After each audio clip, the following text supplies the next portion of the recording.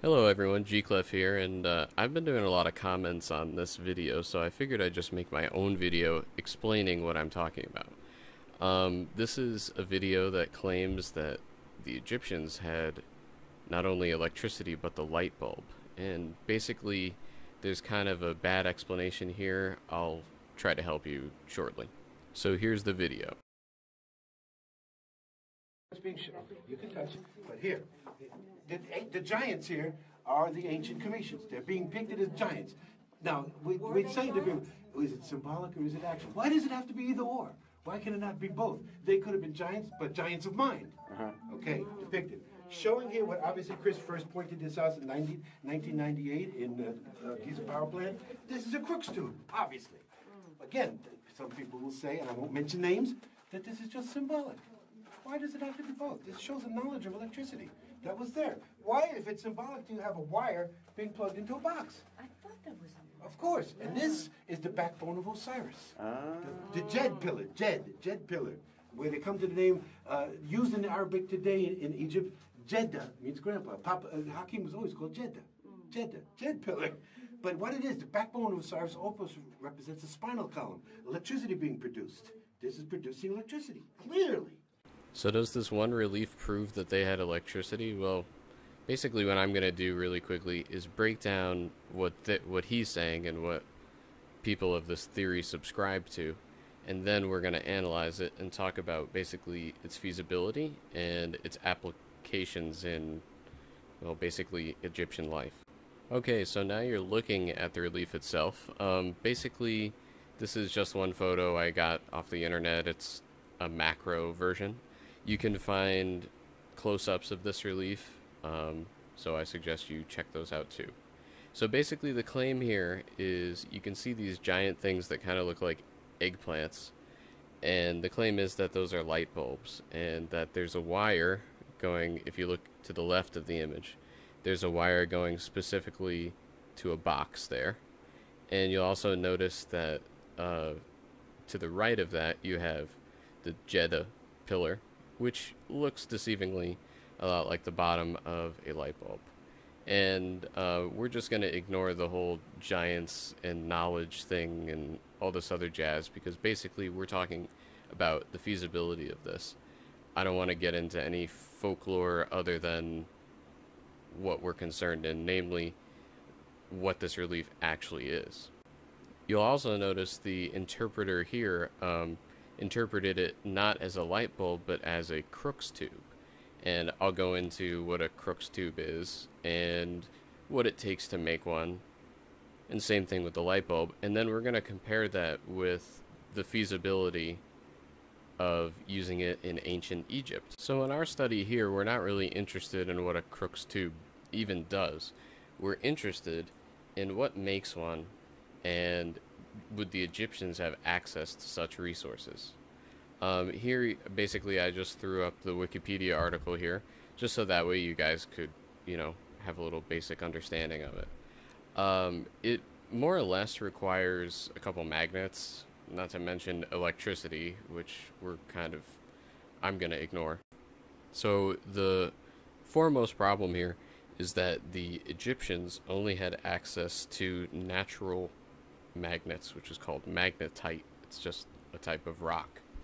They didn't have the types of magnets that were required for a Crookes tube, which were invented centuries later.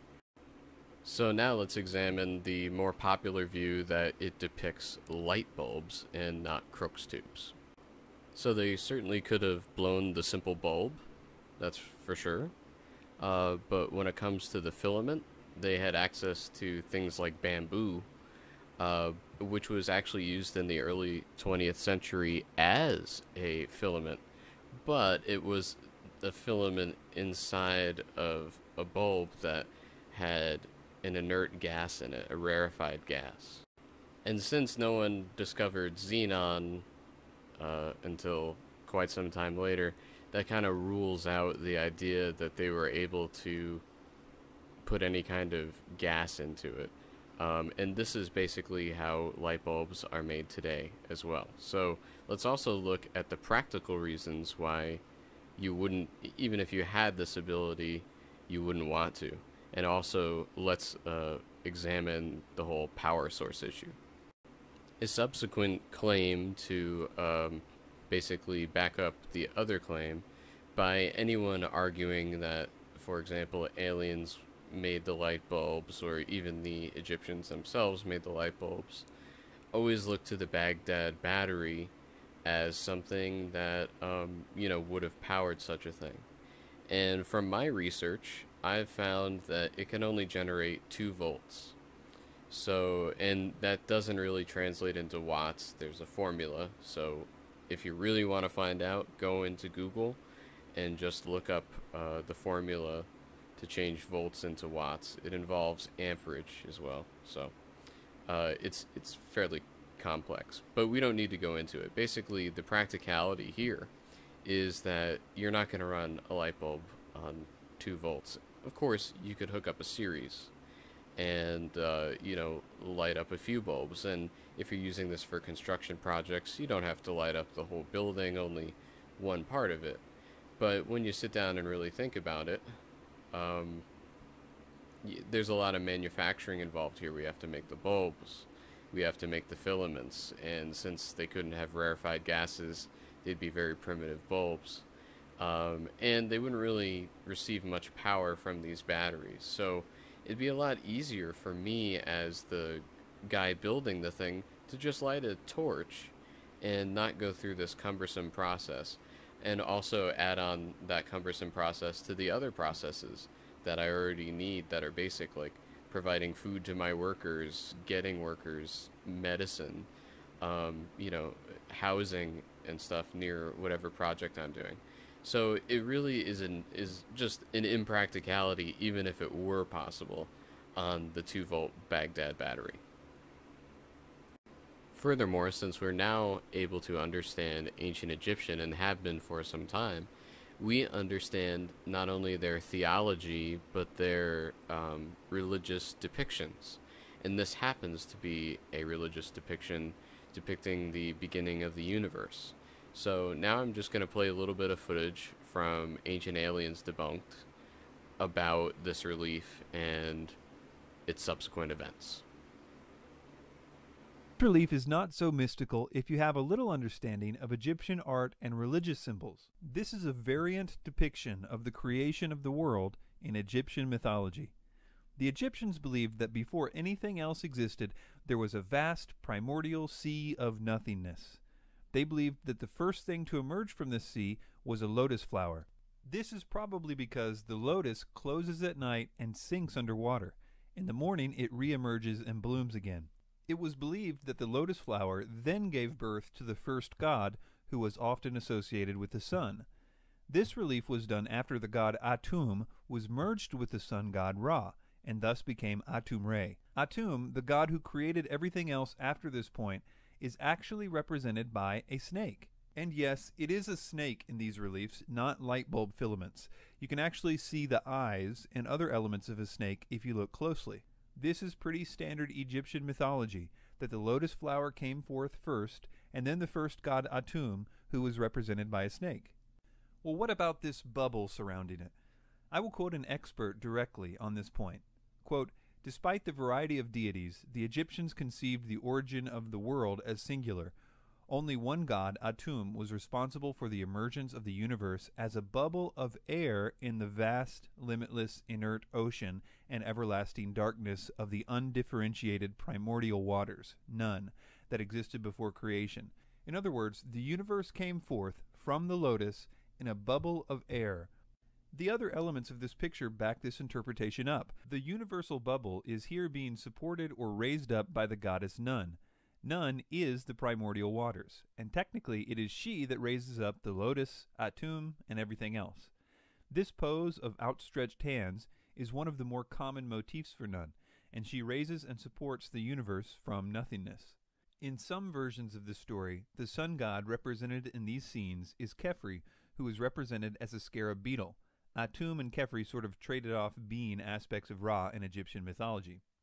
So, in essence, in more common versions of this scene, you have Nun, the primordial waters, lifting up the solar barge of Ra for its first journey across the sky. And this explains why the exact same poses are seen in this creation scene at Dendera. They are also depicting Nun raising up the universe out of her waters. This idea is very, very common. You can see other images of Ra emerging from the primordial lotus as well. The idea that the ancient Egyptians used electricity is something that is not even hinted at anywhere in the Egyptian records. And if you believe ancient aliens, they were not just using electricity, but vacuum tubes, which requires high amounts of electricity as well as rarefied gases like argon. And if this was the case, we should expect to find some mention of this somewhere. This is the Temple of Hathor at the Dendera complex where this relief can be found. And I'm showing you this because um, a lot of the people who think that the light bulbs existed believe that it was because you couldn't light a torch inside. And as you can see in this particular complex, it's very easy to get oxygen. So oxygen is in good supply here. So that oxygen supply obviously accommodates for this next image, which is before and after cleaning photos of the temple ceiling. And as you can see, there was tons of soot there. Now, there's this circular argument that a lot of the uh, theorists get into where they say, oh, well, it wasn't oxygenated enough to burn torches then. And usually they're referring to the pyramids, but they don't realize that they're talking, in this case, about the Temple of Hathor. Um, and anyway, they'll say, oh, well, those marks there, that's from the other explorers who came centuries later.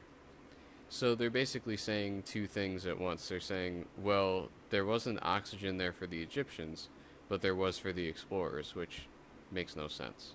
So I just wanted to kind of address that little circular logic that proponents of the light bulb theory use.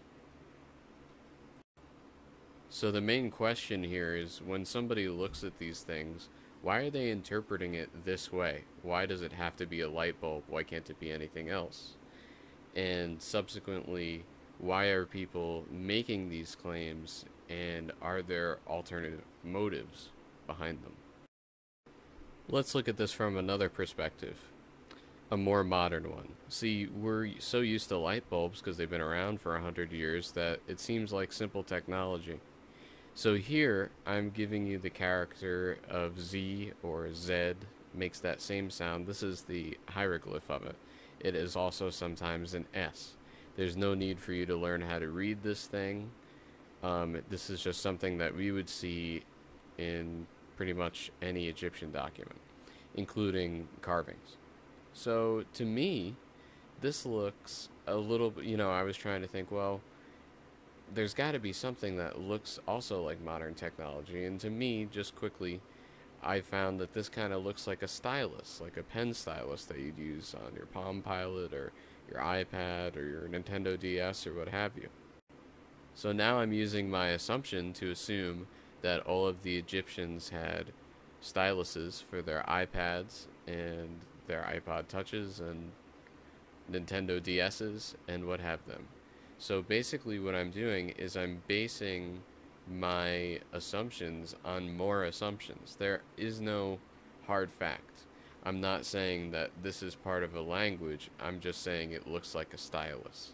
So here it's the same thing with that particular interpretation of this relief. You're using your assumption that the Baghdad battery was used to power these quote unquote light bulbs to verify your assumption that these are indeed light bulbs, when in fact it's a depiction of the beginning of the universe. So if you still believe in this theory, look up the ancient Egyptian religion. I once believed this crap, but obviously it's all untrue. I've seen other things akin to this, such as claiming that certain tool markings couldn't be made by tools that a certain civilization had, etc. And the joke is is that when it comes to this stuff, a lot of the research is readily available. So these people are either whoever claims, for example, the ancient astronauts, uh, you know, made Puma Punku or something, hasn't actually done any research. And I assume that's because if they did, they'd find out that all their assumptions were pretty much wrong. And that's kind of what's happening here. But why would somebody want to perpetuate that? Well, obviously because they can make money off it. Ancient Aliens on that History Channel obviously made them a lot of money, and it also gained the theory a lot more proponents. So, anyway, keep an eye out, and I'll catch you later.